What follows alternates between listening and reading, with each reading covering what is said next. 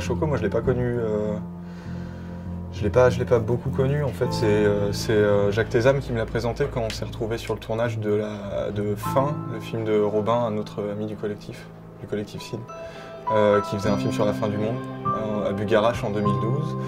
Et Jacques Thézam nous avait rejoint avec Choco parce que Choco voulait aller là-bas depuis quelques temps. Et bah, j'ai eu le temps de le voir une ou deux fois. Après, il est parti faire quelques, quel- quelques aventures dans la montagne. Et, euh, voilà quoi. C'est tout. Je je l'ai- pas tant connu que ça au final. Mais je crois qu'en enfin, en tout cas, j'ai été un des derniers à le voir. Ouais, je le porte toujours autour du cou là. C'est un, un fragment du, du patch de Bugarache. Euh, ça s'est passé le 21 décembre 2012. J'avais rencontré Choco sur la route.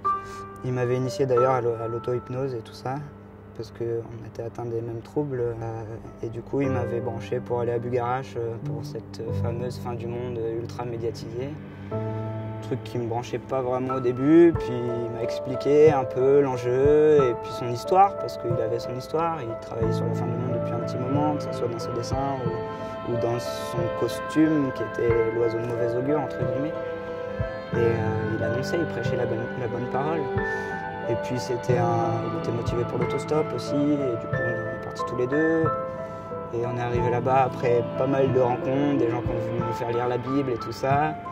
Et on est arrivé là-bas, on a rencontré euh, Collectif Sin assez brièvement. Et après lui, il avait son truc à faire sur la montagne. Euh, voilà, et depuis, j'ai pas trop de nouvelles. euh, et on l'a porté disparu, en tout cas pour nous. Euh, s'il nous a lâché un peu, euh, s'il est vraiment disparu. Mais, mais la vie continue et on fait aller quoi.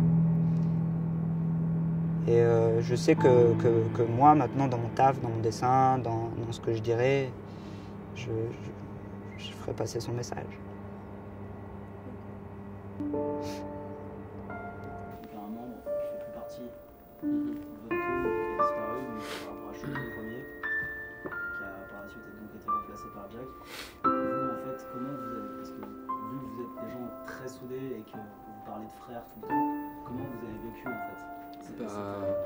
Tu perte fais avec.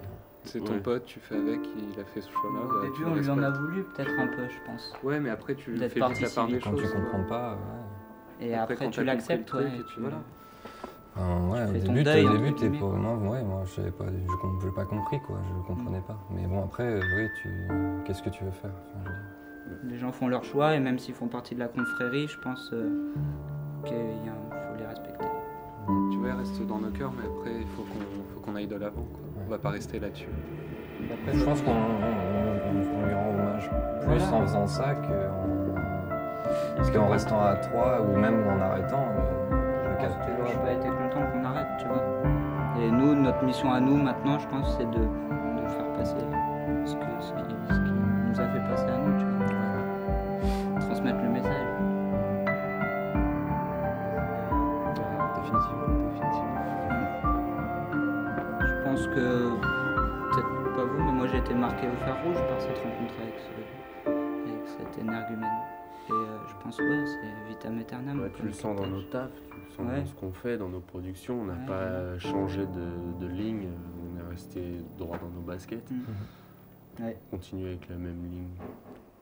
Puis de là où il est, s'il nous écoute, s'il nous entend, je pense que je pense qu'il il est fier de nous aussi quelque part, tu vois. On peut, s'en- on peut changer de sujet ou pas? C'est- laisse tomber quoi. Pas parler de ça comme ça. Ok. Ou de ce que ça, ce que ça a un peu engendré par la suite. Ouais, bah c'est forcément, tu comprends bien, ouais, ça a changé pas mal de choses, euh, mais euh, bah, c'est un, c'est perdre un copain, quoi. C'est pas facile. Mais bon, on, on en a plein des copains, on s'en fait tout le temps des copains. Um, well, I met uh, Jack and Tanda. They were the first from Forest Dimension whom I met. It was in Yalta, I guess, about two years ago.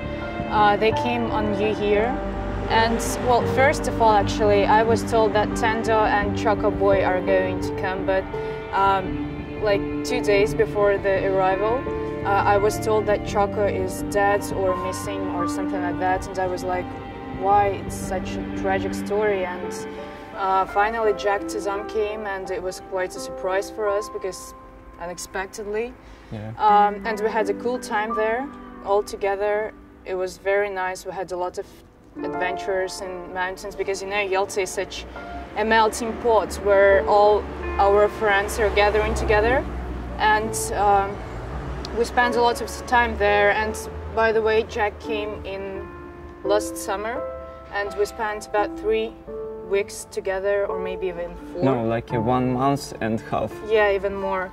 And we had a lot of crusades in the woods because Yalta is a very wonderful place between the sea and the mountains, just like a small, small pearl, you know, like one point of paradise. It was nice.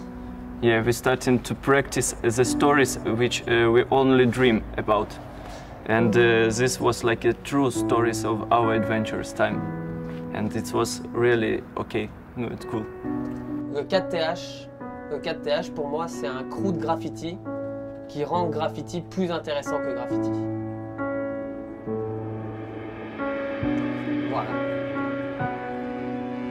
Ben, ils amènent, euh, ils amènent quelque chose au graffiti. En fait, à la base, c'est un crew de graffiti. Ils font euh, un truc assez basique. Ils sont quatre. Ils ont quatre euh, individualités.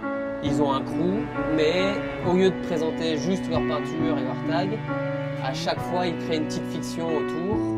Et c'est ce qui est kiffant quand on va sur leur blog ou quand on regarde leurs vidéos, en fait, c'est qu'ils vont partir de un tag, peut-être un peu pourri, mais ils vont créer toute une fiction autour, toute une aventure. Et à un moment, on se demande en tant que spectateur de ça, on se demande si c'est réel ou pas, en fait. On se demande quelle est la part de réel et la part d'imaginaire.